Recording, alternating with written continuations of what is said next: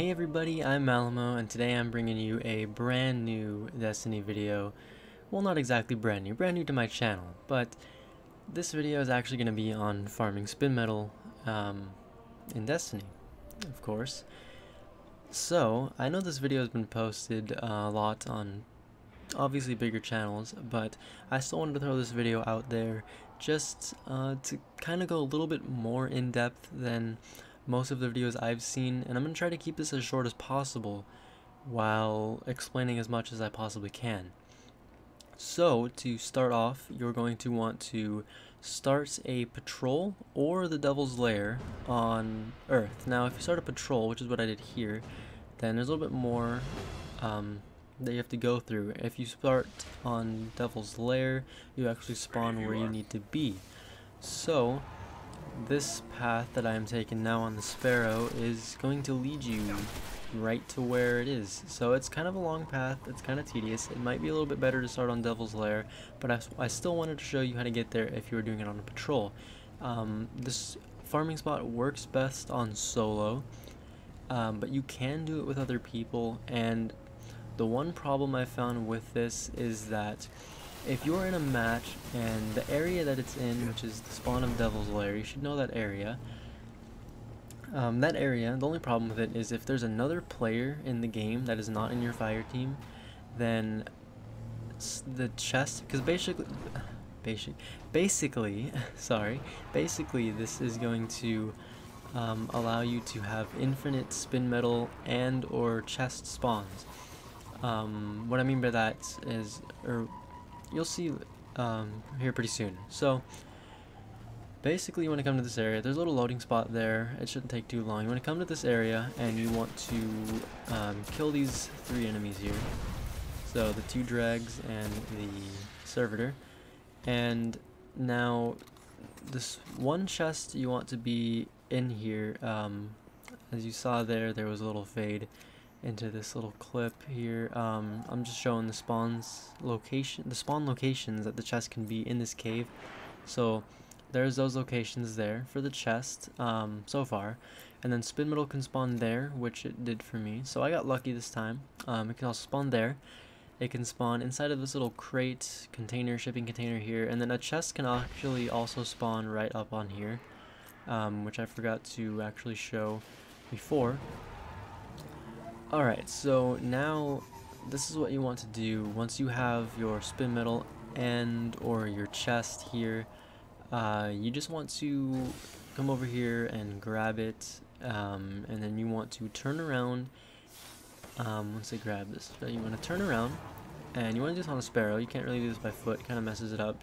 So you want to turn around and you want to come over here. You can use those stairs right there as a landmark, but you're just looking for the thing on the bottom, the divide to pop up, um, and it resets everything. So, once you do that, you have a respawned chest and a respawned spin metal leaf. So, you can basically do this for as long as you want. Um, it's not really too hard. Um, so, here in this clip, um, actually I'm going to show that when events pop in here, which the event here is an eliminate the target event. Um, as you'll see it pops in right here. Um, when that happens, it does not affect farming. Now when the enemies that are originally here spawn in, it does affect this chest spawn, and the chest will no longer spawn in that room, and neither will the spin metal leaves, unfortunately. So when there is an event here, um, it kind of just resets itself every time you go back, and you don't have to participate in it, but if you do participate in it, you want to not capture, do not capture the chest or the spin metal leaves and just go ahead and kill the guy. And then you can capture it and be on your way and keep going. So, events do not mess up this method. Now, I farmed for about 20 minutes, 15-20 um, minutes roughly, and these are the results. I actually destroyed a lot of those. I don't know why I showed those, but I started out with about 10 spin metal, so 215, 220, roughly there. Um, you also get um, Ascendant Shards, you get Strange Coins, you get Motes of Light, and you get Ammo Synthesis, and then of course Glimmer. So, if you're wondering where to sell these materials to, to actually get um, Vanguard marks and things like that, then you can go here and this will give you Vanguard Marks, Reputation, um, and Glimmer. 250 Glimmer each time. You get roughly 31, 32 Glimmer, or not Glimmer, Reputation rather, um, every time you turn some in. And that is for Vanguard. Now this is for Crucible. This guy is down here. He's the Quartermaster here. Um, and you can turn it into him as well. Um, so you can do that uh, and you get the same things but for crucible.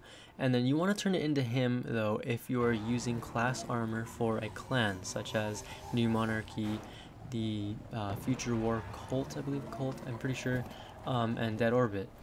So basically the rest of this video is just going to be uh, me doing this um, and so I wanted to keep this as short as possible and I think I did a good job doing that.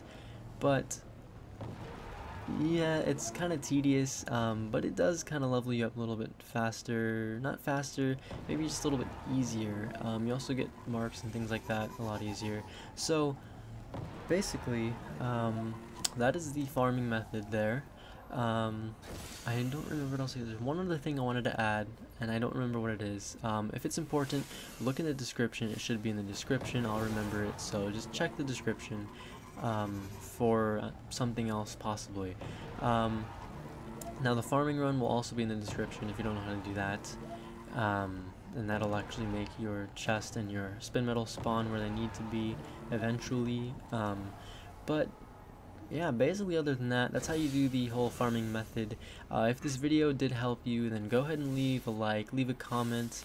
Um, and if you want more Destiny videos, you want to see more Destiny videos, go ahead and subscribe. You know that'll that'll uh, that'll make me motivated to um, produce more Destiny videos and just more videos in general. So yeah, go ahead and do those things if you guys enjoyed this video or if it helped you.